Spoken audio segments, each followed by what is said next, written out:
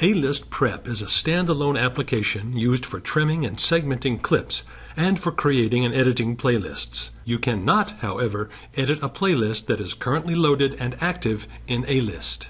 Under the A-List file menu, select Open A-List Prep. The app will open with a gold outline that indicates it is not the active playlist. The file browser and playlist are in a floating window that you can place wherever you wish, even on a second monitor for convenience.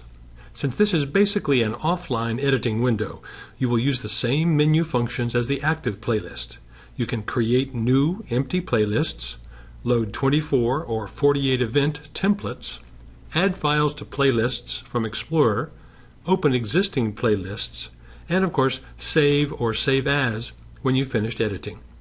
You can also select Show Missing Files and Files with Reported Error Conditions.